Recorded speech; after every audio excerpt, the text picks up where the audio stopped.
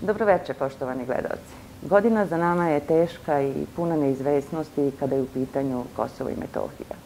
Država Srbija je uspela i uspeva da se izbori sa svim izazovima i konstantno se bori za svoj narod u Južnoj Srpskoj pokrajini. O stalnoj borbi za mir i stabilnost, o tome šta je urađeno i šta Srbija planira da uradi u 2021. godini kada je u pitanju naša Južna Srpska pokrajina, za televiziju Most govori direktor Kancelarije za Kosovo i Metohiju Petar Petković. Dobroveče i hvala vam što ste gost naše televizije. Dobroveče vama i vašim gledalcima, posebno dobroveče srpskom narodu na Kosovo i Metohiji. Na izmaku godine, pre nedelju dana, skandalozna odluka prištinskih pravosudnih institucija. Nenad Arsić je osuđen na šest godina zatvora zbog navodnog ratnog zločina, a Svetomir Bačević iz Belog polja kod Peći je uhapšen isto za navodne ratne zločine, bez jednog validnog dokaza. Po ko zna koji put Priština pokazuje da je instrument u rukama albanskih političara koji ima za cilj da optužuje Srbe, zastrašuje srpski narod i da bez dokaza zatvara Srbe za nekakve navodne ratne zločine, hapsi po nekakvim tajnim optužnicama i spiskovima. Sve zbog toga kako bi Priština pokušala da napravi neku vrstu veštačkog balansa pa da ne ispadne samo da su Albanci ti koji su učinili zločine. Naravno, imajući u vidu i sada proces koji je u Hagu. Ja sam pre nekoliko dana imao prilike da posetim Bakavidu, majku Nenada Arsića, koga ste spomenuli, da joj pružim utehu, ali i kažem da će država Srbija i Kancelarija za Kosovo i Metohiju učiniti sve da pre svega kroz postupak koji se vodi, nažalost, fingirani postupak u Prištini, Nenad Arsić na kraju bude oslobođen i da majka konačno vidi svoga sina. Bilo je veoma potresno videti tu scenu starice koja je svašta preživela iz Šaglavice, kako sa suzama u očima čeka svoga sina, ne znajući da li će i da ga sačeka. Jer šest godina je dug period. Ali Priština se tako ponaša. Ona hapsi naše ljude, tako je bilo i u slučaju Bogdana Mitrovića i mnogih drugih, drži ih po više meseci u pritvoru, a onda naravno, zato što nema nikakvih dokaza, na kraju mora i da oslobodi. Mi smo i u slučaju Nenada Arsića, ali i mnogih drugih, odmah reagovali i uputili potrebne dopise i apele međunarodnoj zajednici, posebno Euleksu, koji je dužan da vodi računa o vladavini prava na prostoru Kosova i Metohije.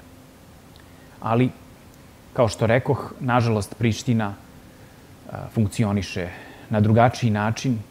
Ona svoje institucije koristi ne za vladavinu prava, nego da bi se svetila Srbima i srpskom narodu. To je između ostalog i poruka kada govorite i o Svetomiru Bačeviću, drugim interno raseljenim Srbima da se ne vraćaju na prostor Kosova i Metohije. Jer svako ko dođe da poseti ili e, grob svojih najmilijih koji su često porušeni ili oskrnavljenu crkvu ili porušene kuće, naročito u Metohiji, će proći kao Svetomir Bačević ili mnogi drugi pre njega. Svedoci smo i napada na Srbe povratnike i na njihovu imovinu. Svedoci smo brojnih napada incidenata koji između ostalog se uvek pojavljuju iz dva razloga. Jedan je kada u Prištini imamo uzavrelu političku situaciju, kao što je i ova predizborna, i onda u takvoj situaciji da bi prikrili svoje egzistencijalne probleme koji su ogromni u albanskim sredinama na Kosovu i Metohiji, oni kreću da udaraju i po predsedniku Vučiću i Srbima i državi Srbiji, jer je očigledno to najomiljeniji sport, da tako kažem, među albanskim političarima, nešto što donosi najviše poena. Ali šta ćemo da radimo kad prođe jedan, drugi i treći dan takvih ostraćenih, ostrašenih izjava prema Srbima? Pa valjda i ti Albanci posle tih dana moraju da žive. A gde im je ekonomija? Gde im je privreda? Sve on to govori da političari moraju vrlo odgovorno da se ponašaju. i da čine sve da izgrađuju mir i stabilnost na prostoru Kosova i Metohije. I to upravo čini predsjednik Aleksandar Vučić kao najodgovorniji i progresivniji političar ovde na a, Zapadnom Balkanu, koji se zalaže za mir, za dijalog, za kompromisno rešenje, ali s druge strane pokušava da kroz tu fantastičnu regionalnu inicijativu mini Schengena okupi sve države i prostor Kosova i Metohije, jer to nije država, kako bi kroz ekonomiju, kroz napredak, kroz nova radna mesta probali da pokrenemo se sa mrtve tačke, jer onda kad ljudi imaju posla, kada su zadovoljni, kad ekonomija napreduje, kao što je reč u centralnoj Srbiji, onda sve te uzavrale politike i, i, i uh, nacionalistička retorika koja dolazi iz Prištine uh, dolazi u drugi plan. U svakom slučaju hoću da kažem da kad nema dijaloga, kada nema razgovora, a vidimo da Priština odbija da razgovara, imamo incidente na terenu i nedavne incidente u Donjoj Brnjici kada su dvojica mladića, albanaca, pucala na Srbe, odnosno na srpsku dečicu koja su se okupila u školskom dvorištu ili pokušaj kidnapovanja dečaka u Plemetini ili devojčice u Babinom mostu. Pa samo taj Babin most je toliko, nažalost, postao poznat po tim incidentima da ne možete da ih nabrojite. Iskrnjavljenje crkve Presvete Bogorodice u tom mestu, da ne pominjem skrnavljanje e, grobova širom Metohije, nedavno dva puta za redom u ovoj godini kod Lipljana, pa u Žakovu takođe. E, da ne govorimo o, o dakle, pljačkanju, otimanju i, imovine i, i poljoprivrednih mašina. Sve to što, nažalost, je zadesilo srpski narod i sve to što s čim srpski narod već decenijema živi. I mi se borimo i činimo sve što je s naše strane da obezbedimo mir i stabilnost, da kroz dijalog obezbedimo dodatne garancije za naš narod, posebno insistirajući na poštovanju svih onih sporazuma koji treba da obezbede kolektivna prava za srpski narod na Kosovu i Metohiji, jer, nažalost, Srbi na Kosovu i Metohiji su danas najugroženija uh, zajednica u 21. veku, što je apsolutno nedopustivo. A kako komentarišete da uvek izostaje osuda međunarodne zajednice kad god su ti napadi, provokacije, ne oglašava se? Koliko puta smo rekli, i to je nešto što svi dobro znamo i ne žalimo se zbog toga, nego se borimo, a to je da je Zapad stvorio nezavisno Kosovo, takozvano nezavisno Kosovo. I da zapravo Priština je čedo najvećih zapadnih sila. To vam sve govori. Šta god oni da urade, da otkažu dijalog, da neće da dođu, da im ne odgovaraju određene teme, sve prolazi, sve može. A Srbija samo mali korak da napravi u smislu insistiranja na onome što treba da odbrani njeno dostojanstvo, odmah će je napasti, odmah će svi reći da je Beograd kriv, da je Beograd taj koji ugrožava dijalog i tako dalje. Dakle, s tim već dugo živimo. Ali, zato što vodimo ozbiljnu politiku i to predsednik Aleksandar Vučić više puta govori, ja sam biran da bi rešavao probleme, a ne da bih kukao i žalio se, kao što su radili i kao što sada rade mnogi opozicioni političari koji su do 2012. bili na vlasti. Dakle, mi se borimo i shvatamo kolika je nepravda i pokušavamo da odgovornom politikom korak po korak tu nepravdu rešavamo. Da li u tome uspevamo? nekada više, nekada manje, ali činjenica da smo ponovo, posle decenija, uspeli da aktualizujemo pitanje Kosova i Metohije, da tako u najvećim zapadnim centrima moći i u Berlinu, i u Briselu, i u Parizu, ali i u Vašingtonu, se govori o pitanju Kosova i Metohije na način gde i Beograd mora da bude uključen u konačno rešenje. To je veliki iskorak. Ne kažem da će te države odustati od nezavisnosti Kosova. Ne, jer su oni metori takozvane kosovske nezavisnosti. Ali da smo napravili iskorak i konačno uh, uspeli da se čuje glas Srbije, to je ono što je važno. Jer do 2012. godine, pa hoćete i malo kasnije, kada god ste krenuli da razgovarate sa tim velikim zapadnim zemljama, oni bi odmah postavljali crvenu liniju i govorili prvo priznajte Kosovo, pa ćemo onda tek da razgovaramo. A činjenica da danas i u Vašingtonu, da u dakle, Parizu predsednik Macron govori o tome da nema rešenja bez kompromisnog rešenja, odnosno dogovora Beograda i Prištinje jeste velika stvar. Velika stvar koja pokazuje da pitanje Kosova nije završeno i da ne može biti završeno bez Beograda.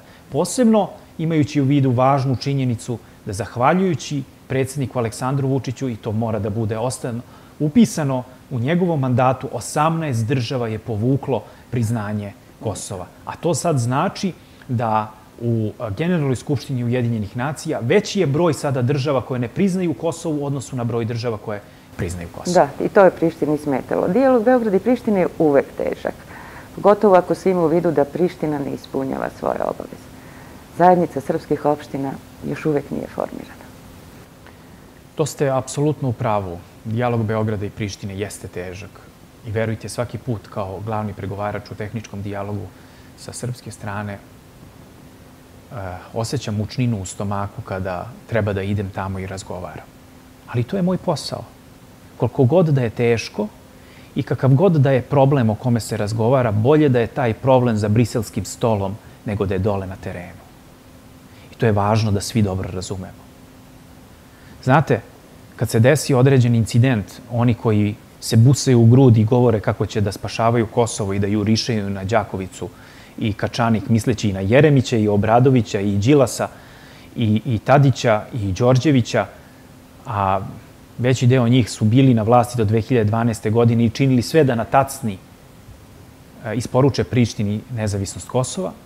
Sad, sad, su, sad su se setili, sad su se setili da brane Kosovo i Metohiju. A neka mi samo kaže jedan od njih na koji način da se nešto loše desi i jednom Srbinu dole, ne daj Bože, da padne kap krvi, ne ništa jače i ozbiljnije, na koji način ćemo da reagujemo? Na koji način kad smo 99. godine morali da povučemo i vojsku i policiju? Pa iz petinih žila činimo sve da obezbedimo mir i stabilnost našem narodu. I ono što dobro zna međunarodna zajednica, a što uliva poverenje našem narodu na Kosovu i Metohiji jeste činjenica što je Aleksandar Vučić, prvi predsednik koji je otvoreno rekao nikada više se neće ponoviti niti martovski pogrom, niti oluja. Neka dobro razmišljaju oni koji bi želeli da prostor Kosova i Metohije bace u, u, u nekakve vode destabilizacije, jer to nikome ne ide na ruku, ni Srbima, ni Albancima. Zato tražimo da razgovaramo. Zato nam je važno da u dijalogu rešavamo teška pitanja koja nas opterećuju. Jer sam duboko uveren da istorijsko pomirenje srpskog i albanskog naroda jeste osnova za pomirenje na celom Zapadnom Balkanu. I važno je da pregovaramo i dijalog je u našem interesu. Jer ono što ne možemo na terenu da rešavamo, jer efektivno 99. nemamo vlast, možemo kroz dijalog.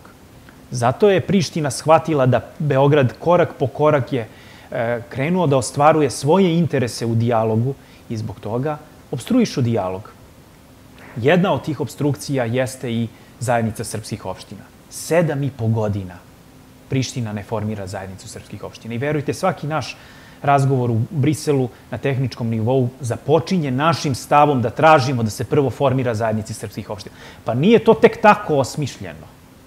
Razlog zbog čega su Srbi ušli u dakle, proces lokalnih izbora 2013. godine i formiranje deset srpskih opština je bio taj da tih deset opština uđu u zajednicu srpskih opština, da se ona formira na takav način da se obezbede kolektivna prava za Srbe na Kosovu i Metohiji koje danas ne postoje. Da dobijemo garancije da će Srbi koji tamo žive moći normalno da žive, bez straha.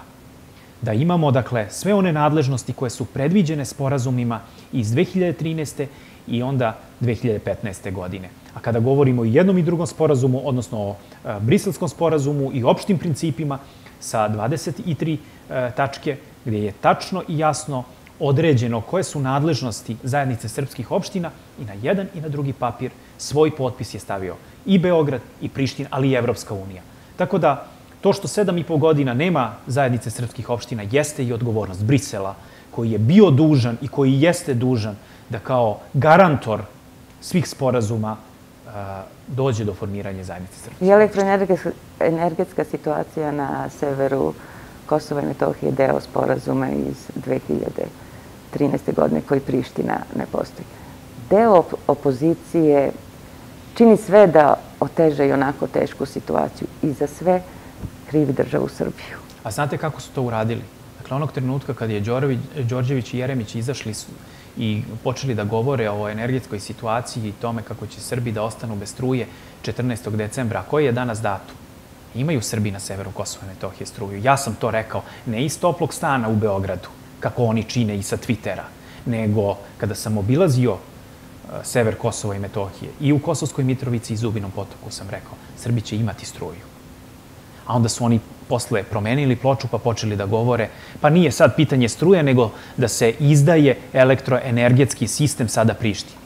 A ko to čini? Pa ne radi ova vlada, sigurno. Sigurno ne. Takav sporazum nismo potpisali. Razumete? Da bi nekom nešto predali, to podrazumeva da predajete imovinu. U sporazumu se ništa nije dogovaralo oko imovine. To je posebno pitanje koje mora da bude rešavano u dijalogu i na kraju krajeva za to postoji dokaz, odnosno pismo koje je 2018. godine šef UNMIKA poslao eh, EMS-u, elektromreži Srbije, gde je jasno rečeno da pitanje imovine eh, elektroenergetskog sistema na severu Kosova i Metohije mora da bude rešavano u dijalogu. A šta se zapravo dešava? Onda kada su napali Beograd, predsednika Vučića, Kancelariju za Kosovo i Metohiju, da mi nešto predajemo, ja sam na jednoj konferenciji za štampu napravio hronologiju svega što se dešavalo. Pa smo krenuli od 2001. godine, kada je tadašnji ministar Goran Novaković, ministar demokratske stranke, napravio dogovor i potpisao da ceo elektroenergetski sistem na Kosovu i Metohiji se predaje u ruke UNIK-u. A UNIK posle dve godine sve lepo predao prištinskim institucijama kroz uh, zakon o energetici 2004. godine. I nakon toga, uh, Kost kao operator prenosnog sistema energije na prostoru Kosova i Metohije u prištinskom sistemu je postao taj koji je odlučivao i imao nadležnost nad celim Kosovom i Metohijom za elektroenergetski sistem. Dakle, to se dešava u uh, prvoj deceniji 21. veka.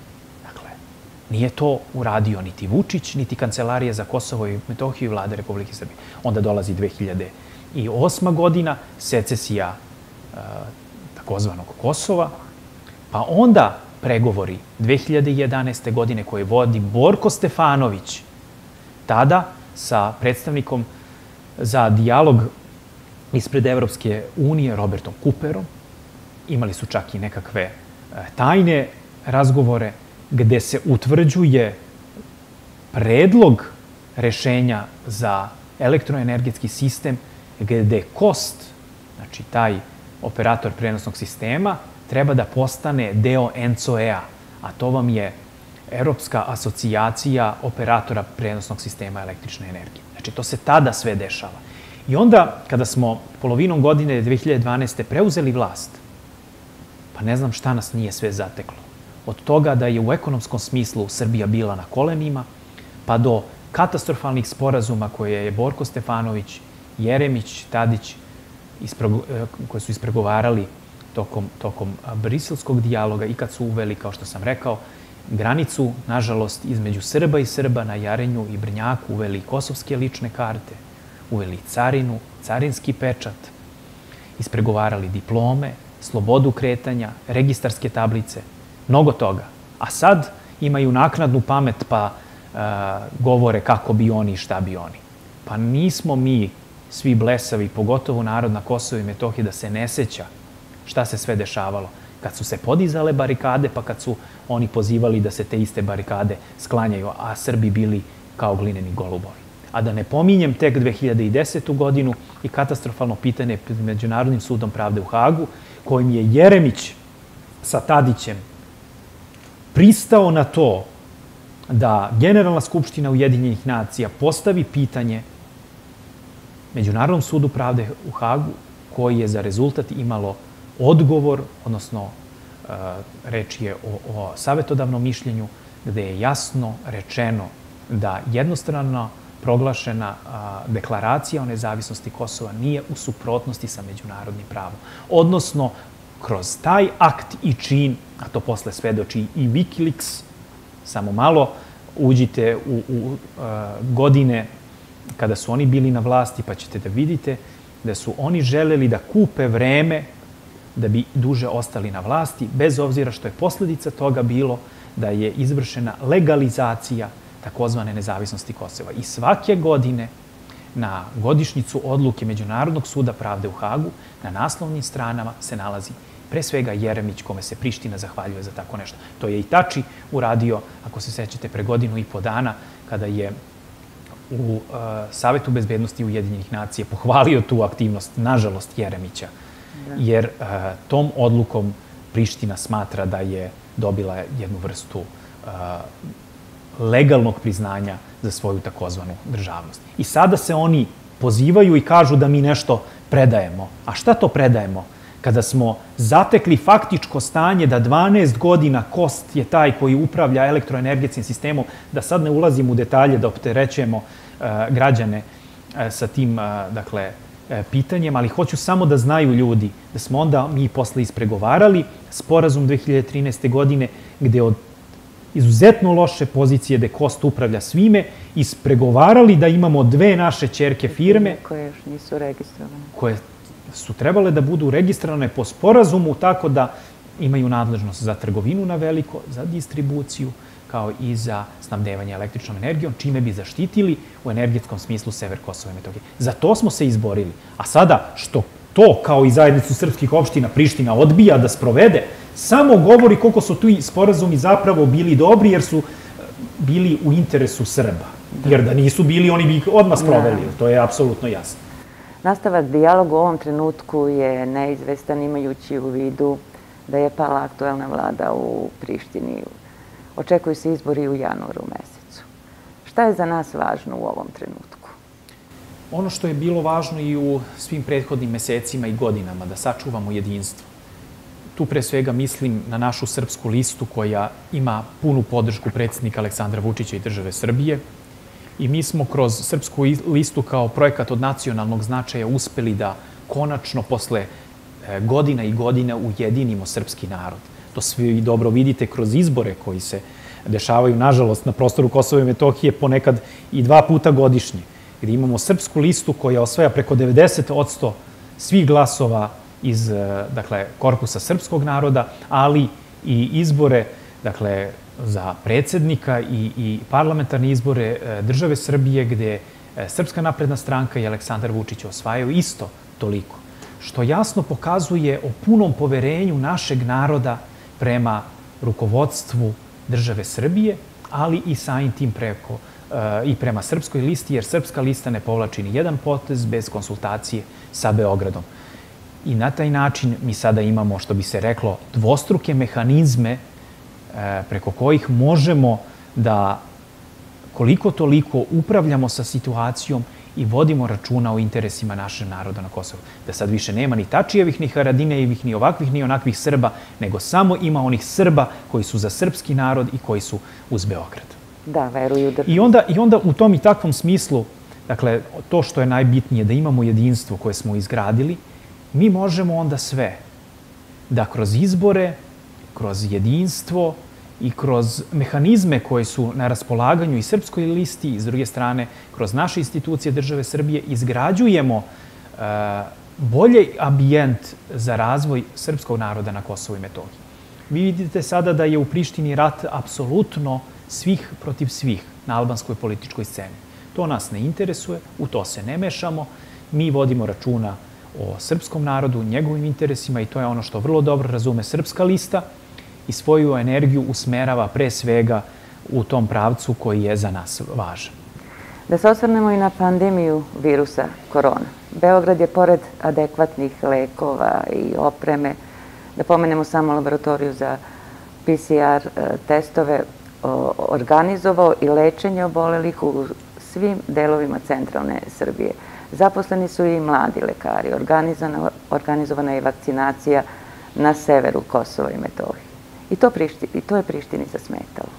Zaista smo ponosni što smo kao država uspeli ono što mnogo snažnije, jače i moćnije države, ne samo u Evropi, nego i u svetu nisu uspele. Kada govorimo o borbi sa koronavirusom, tim nevidljivim neprijateljem koji je jednostavno zadao ozbiljan udarac celome svetu. Dakle, jedna mala Srbija postala je jaka i ima jako rukovodstvo i uspeli smo da vodimo računa da jednostavno ni u jednom trenutku koronavirus e, ne utiče naš sistem da on jednostavno eksplodira. Zdravstveni sistem bio je na ivici zadatka, naši lekari, naša država. Sve što je bilo potrebno od medicinske opreme, lekova, čak smo i sami proizvodili određene lekove, mi smo nabavljali od svojih prijatelja. Ne pitajte kako, jer u tom trenutku kada je trebalo nabaviti respiratore, videli ste da ne postoji niti evropska, niti svetska solidarnost, svako je bukvalno grabio za sebe.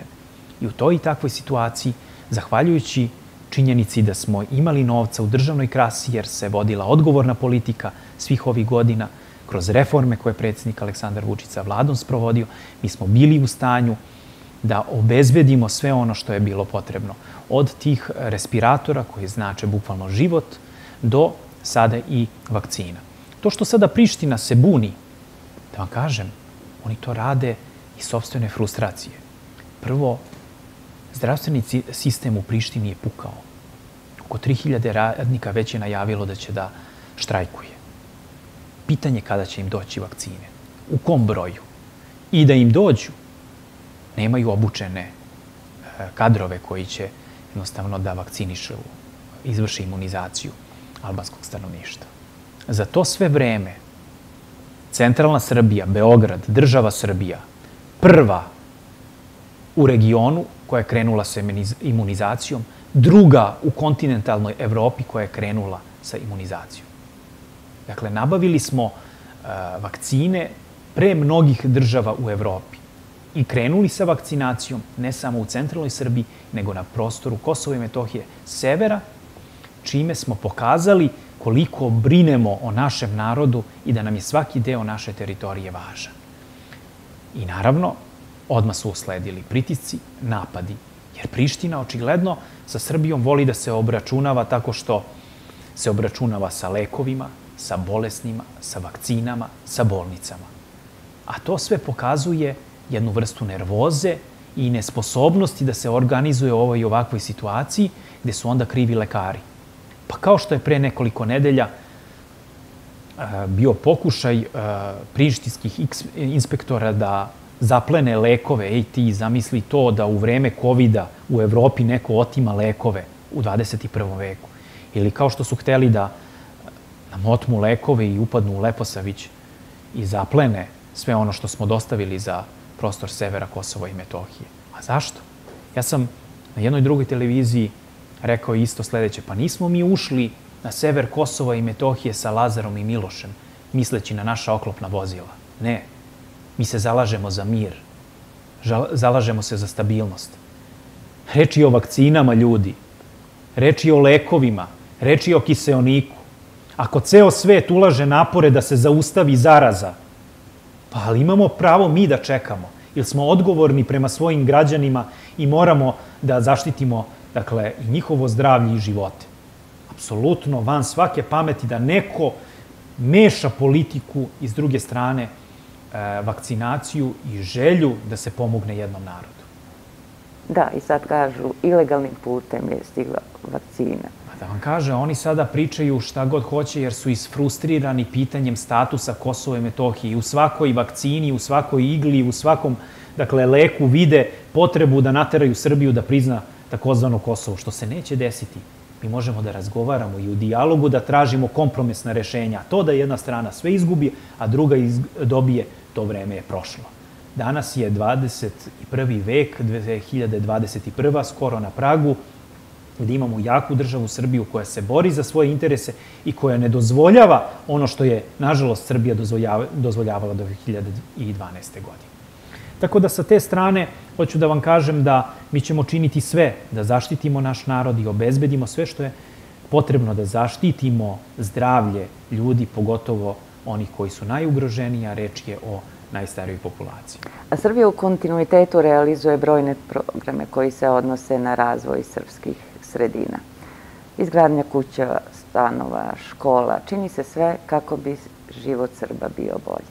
Šta je sve urađeno i planovi za 2021. godinu? Mnogo toga je urađeno. Posebno smo ponosni na investicioni projekat Vlade Republike Srbije koji je započet na ličnu inicijativu predsjednika Aleksandra Vučića, ali moram da pomenem i moga prethodnika, Marka Đurića, koji je ostavio važan pečat kao direktor Kancelarije za Kosovo i Metohiju. Posebno kroz brojne projekte koji su pokrenuti, preko 349 projekata.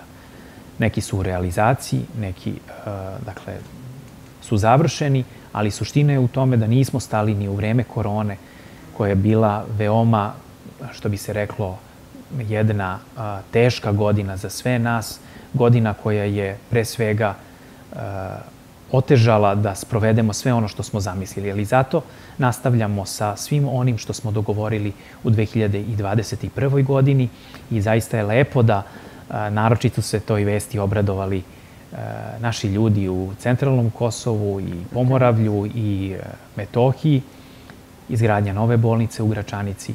Prvobitno je bilo određeno 2 miliona evra, ali videli ste da je predsednik na godišnjoj konferenciji rekao da je reč o dakle, projektu koji će e, tri puta biti pojačan, da tako kažem, pa će sada konačni iznos biti 6 miliona evra. I imaćemo pravu bolnicu sa hiruškim blokovima, diagnostikom, poluintenzivnom, intenzivnom negom i svemu onome što je neophodno da naši ljudi, a ovaj, oko 60.000 ljudi gravitira prema kliničko-bolničkom centru u Gračanici, pre svega ima zdravstvenu negu na onom nivou kao što je imaju Srbi i građani Srbije u uh, centralnoj Srbiji. Isto vodimo računa i o našem kliničkom bolničkom centru u Kosovskoj Mitrovici i zdravstvenom centru u Pasjenu. Nabavljamo sve što je neophodno. Evo, najnovije je da smo obezbedili određen broj sanitetskih vozila, kao i uh, uh, high flow respiratora koji su veoma važni, sedam takvih respiratora za Kosovsku Mitrovicu. Da ne govorimo o lekovima, opremi, uh, nabavci kisionika i svega što je potrebno da ti naši zdravstveni centri mogu da odole svim priticima, a videli ste da u vreme korone i ove teške situacije mi smo držali pod kontrolom situaciju u srpskim sredinama kada je reč o koronavirusu. Da. Između ostalog, zahvaljujući pomoći države Srbije, ali i veoma uspešnom radu zdravstvenih centara i kliničko-bolničkih centara, uključujući i naše medicinske sestre i lekare koji su dobili i povećanja e, i, i nova radna mesta. Da, zaposleni su mladi lekari. Mladi lekari, 70 novih mladih lekara, kao i 200 medicinskih sestara za ceo prostor Kosova i Metohije, što je zaista impozantno. Srbi na Kosovu i Metohiji veruju svojoj državi i predsedniku Aleksandru Vučiću. Tako je. Veruju zato što za nas govore dela, ne prosto prazne reči. A na kraju krajeva kod nas prazne reči ni ne postoje, nego sve što obećamo, to i ispunimo. Kada pogledate srpske sredine, nikada se više nije gradilo nego što se sada gradi. I ulažemo zaista milione evra u to.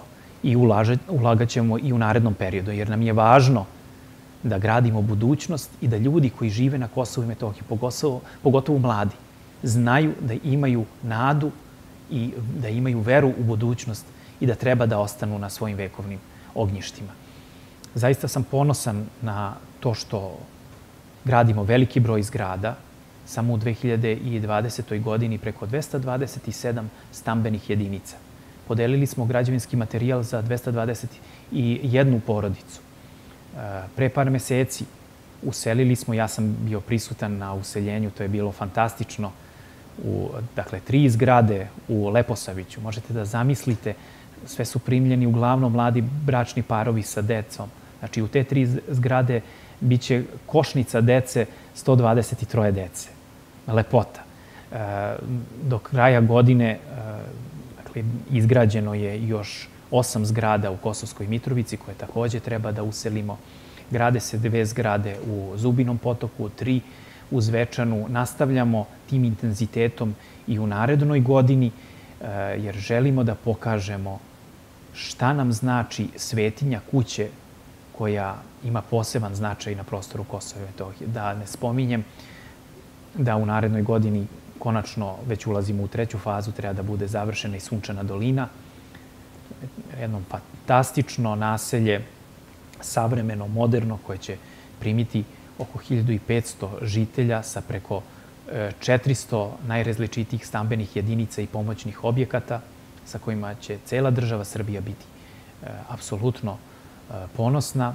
Rajska banja, izgradnja, izgradnja tog zdravstveno-turističkog centra sa wellness centrima, otvorenim, zatvorenim bazenima i e, mnogo toga. Da ne pominjem s druge strane koliko ćemo dodatno još da ulažemo i u našu kulturu, u obnovu Bogorodice Ljeviške i u druge važne projekte izgradnje i crkava i manastira. Do sada smo preko 41 crkvu i manastir pomogli i izgradili. Nastavljamo punu saradnju sa eparhijom e, Raško-Prizrenskom.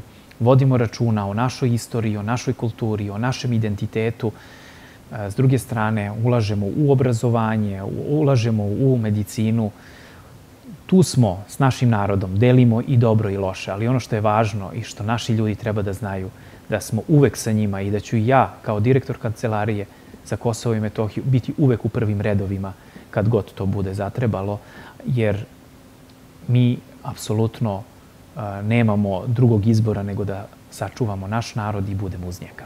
Na čelu ste Kancelarije za Kosovo i Metohiju od oktobra meseca. Malo čas ste ovaj, pomenuli funkciju, ste nasledili od Marka Đurića, koji je uz predsednika Srbije Aleksandara Vučića dao nesebičan doprinos da se na Kosovu i Metohiji sačuva mir i stabilnost. Vi ste i pre imenovanja na ovu funkciju kao pomoćnik direktora za kancelariju za Kosovo i Metohiju, konstantno bili uz i sa srpskim narodom. Da li je ova funkcija odgovornost više? Naravno da je odgovornost više, ali s druge strane moja je i prednost i e, to je ono što je i predsednik Aleksandar Vučić i vlada Srbije, što su dobro prepoznali da me postave na ovu poziciju kao neko koji je već pet godina u sistemu, koji poznaje kancelariju, koji poznaje, dakle, sve ono sa čime se suočavamo, koji poznaje teren, koji poznaje ljude, tako da više manje nema neke nepoznanice kada je reč o preuzimanju ove dužnosti sa mesta pomoćnika na mesto direktora kancelarije za Kosovo i Metohiju. Samo ćemo se još jače i snažnije boriti da budemo uz naš narod. Nema odustajanja, nema predaje. Ono što je važno to je da imamo obezbeđen budžet bez obzira na krizu, bez obzira na situaciju koja je zahvatila ceo svet. Država Srbija ide napred. U narednoj godini predviđen rast brutodruštvenog proizvoda za 6 procenata. Bićemo po rastu gotovo prvi u Evropi. To je nešto što svi treba dobro da znamo. A kada imamo veliki rast, kada imamo strane direktne investicije, onda imamo i jači budžet i više sredstava da možemo da ulažemo za prostor Kosova i Metohije. I zato tek sada može da se razume ona vizija predsednika da samo ekonomski jaka država može da bude dovoljno jaka da zaštiti i Srbe na Kosovo i Metohiji. Bila sam svedok i da vama Srbi veruju. Da li ste ih posetili na Kosovu i Metohiji, da li e, kad god razgovarate sa njima, čuju se komentari što gospodin Petković obeća, to će se desiti. Znači, da li vam to daje dodatno vetar u leđa? Da li... Za mene svaki čovek na Kosovu i Metohiji svetinja. I tako se odnosim prema svakom našem čoveku. I ono što mi je važno i na čemu ću insistirati u mandatu koji je ispred nas, u mom mandatu, to je da se trud, potrudim da ne samo posetim, nego da obnovim posetu, jer sam i ranije posećivao gotovo svako srpsko selo. Od Jelakca, tamo na 1200 metara nadmorske visine, kod Leposavića, gde morate peške da dođete do tog sela, pa sve do, ne znam, Novake ili Goraždevca dole ili, ili Vraništa na jugu Kosova i Metohije. Želim pre svega da budem okrenut narodu, tako je bilo i u prethodnom periodu, jer su svi ovi projekti pre svega za narod, jer ako nemamo naš narod na Kosovu i Metohiji, onda sva naša borba pada u vodu. Što bi rekao patrijar Pavle, e, koga ovce, tog i planina. Što jasno govori da moramo da sačuvamo narod, moramo da opstanemo i ostanemo na Kosovu i Metohiji i zato sve ovo činimo kroz i subvencije i pomoć države i izgradnju da naši ljudi shvate da na Kosovu i Metohiji imaju podjednaku budućnost kao u centralnoj Srbiji. I za kraj, poruka za Srbe u našoj južnoj srpskoj pokrajini. Srpski narod na Kosovu i Metohiji mnogo toga je u poslednjih 20 godina prošao. Dakle, borba sa koronavirusom je jasno pokazala šta znači kad bezbednost građana biva ugražena. Ali opet, s druge strane, ako je neko dobro razumeo tu borbu i ono što smo u ovih poslednjih godinu dana prošli, to je naš narod na Kosovo i Metohiji. Kao što rekoh, on decenijama iz dana u dan vodi tu bitku, bitku budućnosti u bolje sutra. I meni je čast i zadovoljstvo da upravo sa tim herojskim narodom delim sve, i dobro i loše, da znaju da u državi Srbiji predsednika Aleksandru Vučiću i kancelariji za Kosovo i Metohiju imaju svoju kuću, da imaju punu podršku.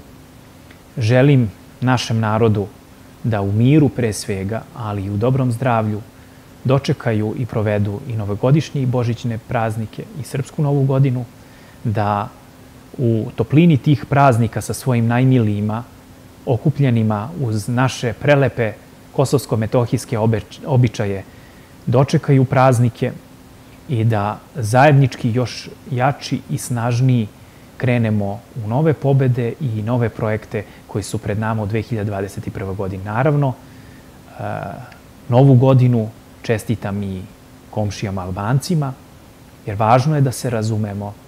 Sudbina je ta koja je srpski i albanski narod odredila da žive na jednoj zemlji i ukoliko to ne razumemo, mislim da onda ništa ne razumemo. I zato je važno da pre svega kao političari budemo odgovorni i prema istoriji, i prema sebi, ali i prema narodima, jer samo tako možemo da gradimo budućnost. Hvala vam na gostovanju, želimo vam srećnu i uspešnu novu godinu, a i vama, poštovani gledoci, pre svega zdravlja, da na našim prostorima vlada mir i naravno jedinstvo, jer samo tako uz pomoć države možemo da sačuvamo nacionalni identitet. Hvala vam i ostanite uz kanal televizije Most. Tu smo zbog vas.